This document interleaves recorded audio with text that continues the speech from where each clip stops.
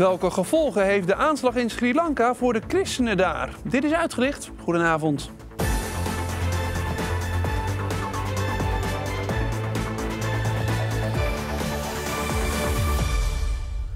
De aanslag in Sri Lanka is een vergelding voor de terreurdaad in Christchurch van vorige maand. Dat zei de minister van Defensie van Sri Lanka vandaag. Straks een gesprek over deze aanslag en wat het betekent voor de christenen daar met Klaas Muurling van Open Doors. Maar eerst iets anders. Voor het eerst is een geaborteerd kindje ingeschreven in het bevolkingsregister. Een vrouw die spijt kreeg van haar abortus heeft dat voor elkaar gekregen met hulp van advocaat Don Seder. En we hebben nu aan de telefoon. Goedenavond. Hi, hi, goedenavond. Ja, uh, hoe, is het, uh, hoe is het u gelukt om dat voor elkaar te krijgen? Nou, ik uh, kreeg het verzoek van een dame die na haar abortus op een gegeven moment spijt heeft gekregen. En als onderdeel van haar rouwverwerking heel graag haar kind zou willen registreren in de basis register personen. Um, er is nieuwe wetgeving in, in werkzaamheden in, in, waarbij dat kan, waarbij kinderen die leefloos ter wereld zijn gekomen ingegeven kunnen, kunnen worden. En zij vroeg zich af of het ook kon bij een kind die ter wereld is gekomen als gevolg van een abortus. Ja. Nou, dat wist ik ook niet, dus ik ga het uitzoeken. Maar door de parlementaire geschiedenis zag ik geen be belemmeringen waarom het niet zou kunnen. Uh, dit is een wet die unaniem is aangenomen door zowel de Tweede Kamer als de Eerste Kamer. Waarbij er heel veel waardering ook is geweest. En uh, ook besef dat deze wet er moest, moest komen. En dit ja. is voornamelijk geweest vanuit het gevoel van vrouwen die miskraam hebben gehad. Die uh, jarenlang gewoon geen erkenning hebben kunnen geven aan hun kind. Nou, daar zitten geen belemmeringen aan qua duur van de zwangerschap. Maar ook niet op welke wijze het kind leefloos de wereld in is gekomen. Ja, dus ik heb gezegd, uh, volgens mij kan het. Dus laten we dat gewoon gaan doen. Nou, zij heeft op een gegeven moment een overlijdensakte opgevraagd bij de gemeente waar de abortus is uitgevoerd. Dat is gelukt. De ambtenaar had daar gecondoleerd. Die heeft het proces met haar doorgenomen. En zij heeft de overlijdensakte toen gehad. Ja. Nou, dat was natuurlijk heel, heel bijzonder, ook voor, ook voor haar. Want het ook wel echt um, ja, op, op papier staat dat het kind geleefd heeft, maar ook overleden is. Dus een, overleden, dus een uh, akte van leefloos geboren.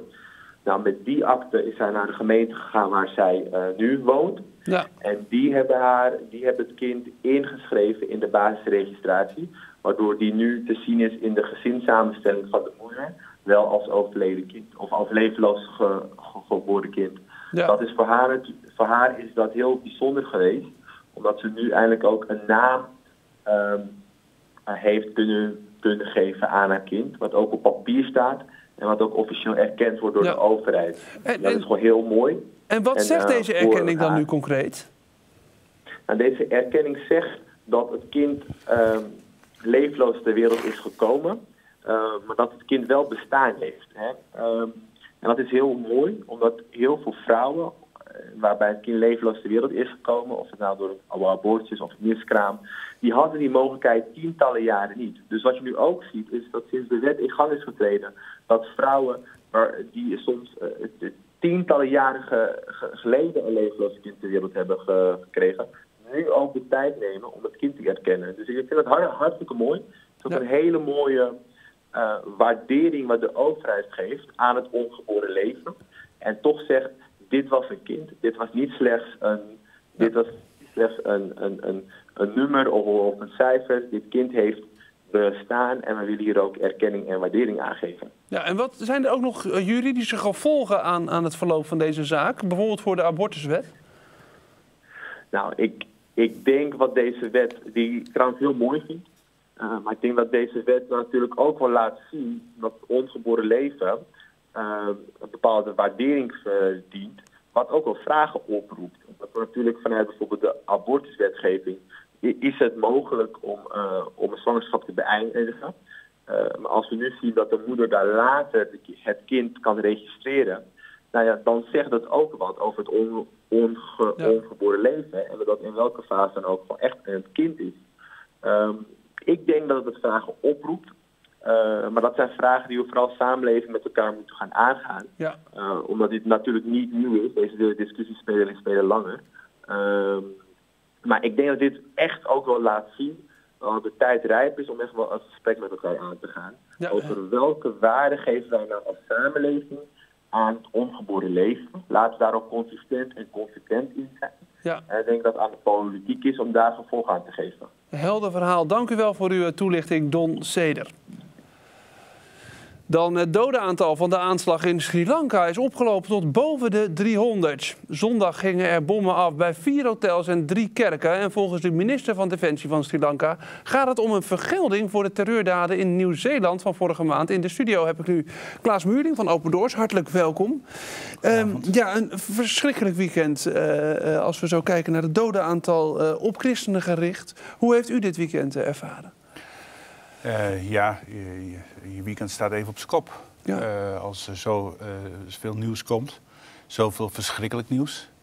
Ehm, het is bijna niet te bevatten natuurlijk. Ja. Wat er gebeurt als er zoveel mensen om het leven komen, zoveel mensen gewond zijn geraakt. En, en ja, duizenden mensen eigenlijk verdrietig zijn om, omdat ze hun geliefde hebben verloren. Nou, had u het verwacht dat zo'n zo grote aanslag er zomaar opeens zou zijn met Pasen? nee, sterker nog. Ehm, op donderdag hebben we als Open Doors een, een bericht de wereld ingestuurd met een gebedsoproep.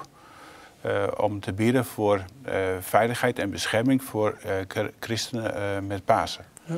Want we zien door de jaren heen dat tijdens hoogtijdagen voor de kerk, zoals kerst en Pasen, dat vervolgde christenen en hun kerken worden aangevallen. juist op zulke hoogtijdagen, als er vreugde is, als er beleving is, als kerk, eh, mensen graag naar de kerk willen komen omdat ze dat zo hard nodig hebben. Het, het is niet zomaar een routine, nee, het is voor hun een, een manier om de week door te komen. Uh, ja, dat er dan zoiets gebeurt, daar, daar, daar vroegen wij dus, dus gebed voor.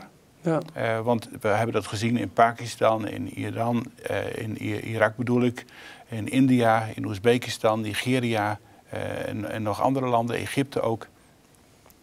Maar dat dit in Sri Lanka zou gebeuren, dat, dat hebben we niet voor mogelijk gehouden. Ja. Ehm, u zegt van, nou ja, we hebben daar gebed voor gevraagd. We kennen deze aanslag, want dat, dat is volop in het nieuws geweest. Zijn er dan ook andere plekken in de wereld geweest waar er ook aanslagen zijn geweest? Ehm, ik heb begrepen dat er ook in Nigeria iets is gebeurd. Dat iemand met een, een bus daar op een, uh, een paasprocessie is ingereden. Eh, mhm. en daar zijn eh, tien kinderen bij overleden. Ehm, ook heel verschrikkelijk, waar ik nog verder geen details van, van weet. Ehm, maar ja, dit in Sri Lanka, dat trekt natuurlijk alle aandacht. Ja, ja, ja. ja. Ehm, nou, de aanslag uh, in Sri Lanka is uh, een vergelding voor de, uh, voor de terreurdaden in, in Christchurch. Een maand geleden, waar een man vanuit een auto op moskeeën heeft, heeft geschoten. dat heeft de minister van Defensie gezegd. Is het een logische verklaring? Ja, eh, dat kan ik eigenlijk niet zo goed inschatten. Um, want um, uh, dat betekent dus dat, dat er in een, een, een paar weken tijd uh, dit opgezet moet, zou, moet, moet zijn. En um, als we kijken naar Sri Lanka en wat daar gebeurt aan christenvervolging, dan hebben we het over aanvallen van radicale boeddhistische monniken op, op kerken en op pastors. Ja. Dat is op kleine schaal. heel dramatisch natuurlijk voor de betrokkenen. Uh, maar dan hebben we het over dat een kerk van 50, uh, uh, dat, dat, mensen daar worden verjaagd en dingen daar worden vernield. Ja. Of dat een pastor wordt geslagen. Dat is van een hele andere uh, Dat komt uit de boeddhistische hoek. Klopt, ja. klopt, ja. De, de, de, christenen krijgen het geluid, jullie, jullie horen hier niet. Ja. Um, maar dat is van een hele andere orde dan wat we nu zien met die bomaanslagen. plus die bomaanslagen zijn gecoördineerd zijn een, een, voor een deel op hetzelfde tijdstip ook gebeurd. Dus daar zit een planning achter, daar zit uh, een, een, een, netwerk achter. En ja, dat, uh, dat vind je niet in Sri Lanka. Ja, ja inmiddels weten we dat uh, IS ook de aanslagen heeft opgeëist. Dat het wel door een lokale partij is uitgevoerd. die lokale partij die was verder nog niet heel erg bekend in Sri Lanka. Hè? Dat, nou, die had wat dingen vernield, maar voor de rest... Klopt, die hadden vorig jaar hadden ze wat boeddhistische beelden vernield. Uh, maar verder uh, was daar niet zoveel van bekend. Ja. Uh, Sri Lanka, u zei, u zei, al van ja, we hadden het eigenlijk niet zo erg verwacht in, in Sri Lanka uh, van zo'n grote orde. Want het staat op plek 46 op de ranglijst van christenvervolging. um, Eh, ja, met welke dreiging krijgen die christenen dan te maken? U zei net al van ja, ze zullen eens geslagen worden of verjaagd mhm. worden, vernielingen. Maar is, is, dat de positie van christenen in Sri Lanka, als we dat zo zouden uh, schetsen? Ja, ze zijn natuurlijk een, een, een kleine minderheid. Bijna, bijna 2 miljoen christenen, voornamelijk katholieken en, en ook een paar honderdduizend protestanten en evangelische. Ja. Um, ja, die hebben dus te maken met vijand, vijandigheden in de gemeenschap. Van de lokale gemeenschap, van de buren, van radicale monniken. En dat, uh, ja, ik zou zeggen, dat, dat kabbelt eigenlijk de, door de jaren heen een beetje ja. door. Hoe ernstig het ook is natuurlijk. Hoe ernstig ja. het ook is. Um, kinderen op school krijgen niet te maken met christelijk onderwijs, maar met boeddhistisch onderwijs. Um, dat is natuurlijk ook lastig voor christelijke kinderen met name. Um, ook hebben christenen uh, worden gevraagd om boeddhistische feesten uh, te ondersteunen. Dat weigeren ze, uh, waardoor ze in de moeilijkheden komen. Dus er zijn aardig wat, wat, wat, wat pesterijen voor de kerk. Uh, die het ook zodanig maken dat uh, het land op de ranglijst christenvervolging staat. Ja. Um, die, die veldwerkers, um, want u heeft veldwerkers in Sri Lanka uh, aan het werk. Um, wat, wat maken die op dit moment mee? Want die zijn ook aanwezig op de plekken waar aanslagen zijn gebeurd. dat klopt. die zijn nu kerken en pastors aan het bezoeken om ze te bemoedigen, om naar ze te luisteren om te horen van wat, wat, wat ze nodig hebben, wat, wat kunnen we voor ze doen. Want Open Doors geeft uh, trainingen op Sri Lanka. Uh, leiderschapstraining, discipelschapstraining, training hoe om te gaan met, uh, met vervolging. en nu moet opnieuw ingeschat worden van, ehm, ja, gaan we door met die training of moet het van een andere aard worden? Moet het bijvoorbeeld traumazorg worden? Ehm, dus de, wat bij Open Doors belangrijk is, dat we eerst luisteren naar wat de vervolgde christenen zeggen en om daarna uh, daarop in te spelen. Ja, en uh, wat denkt u dat de gevolgen zijn voor christenen in, in Sri Lanka voor, uh, na deze aanslag? dat is, nou ja, het, het, na de, de, burgeroorlog van tien jaar geleden zijn er al zoveel wonden geslagen in de gemeenschap tussen mensen. Ja. Daar hebben christenen ook het nodige van meegekregen. En nu gebeurt dit en dat herinnert weer aan, aan dat. Dus allerlei oude wonden gaan weer, weer open. Um, ja, er zijn tegenstellingen tussen boeddhisten, christenen en, en moslims. Uh, die kunnen hierdoor versterkt worden, maar misschien, ook misschien afgezakt ja. worden. want wat we zien nu in, in Sri Lanka is dat de gemeenschap solidair is met de rouwenden. Ja. er worden zwarte en witte vlaggen opgehangen uit solidariteit. winkels en banken sluiten uit solidariteit. Ja. mensen gaan van de ene begrafenis naar de andere. Uh, ze kennen daar niet dat, dat een begrafenis pas na vier of vijf dagen is. Het is meteen de, de, de, de volgende dag. Um, en uh, nou, zoals ook op de foto's zien, uh, worden plakaten, posters opgehangen uit solidariteit. Ja. Fo foto's van, van, van slachtoffers worden opgehangen uit solidariteit. Tegelijkertijd is er ook het gevaar dat mensen het recht in eigen handen nemen. Ehm, er is inmiddels bekend dat het uit moslimhoek komt, het geweld. Uh, en uh, ja, het is te hopen dat, dat mensen zich kunnen beheersen, dat ook christenen niet uit hun verdriet en, en wanhoop ineens terug gaan slaan. Ja. Dus er is, het kan nog allerlei kanten op en daarom is ons gebed daar ook, ook voor nodig. Ja. denkt u dat de christenen volgende week weer gewoon samen gaan komen of zal het heel spannend zijn om samen te komen? Nou, die, die verwachting is er zeker wel, maar het is even de vraag of, of de overheid het toestaat. Ja. Maar de christenen die zijn van plan om gewoon weer naar de kerk te gaan. Ja, dat lijkt me wel een hele spannende situatie om dan weer samen te komen, om weer... Ten meer daar nog steeds dreiging van aanslagen is. Er werden ook, ook bommen gevonden die nog niet ontploft waren.